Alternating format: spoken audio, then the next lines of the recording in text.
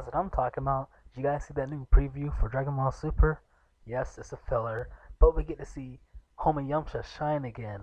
He's gonna be playing baseball again, and I'm really gonna like this episode because I really like that scene of Yamcha playing baseball and the original Dragon Ball Z. So seeing him back at it again, it's nice. Yeah.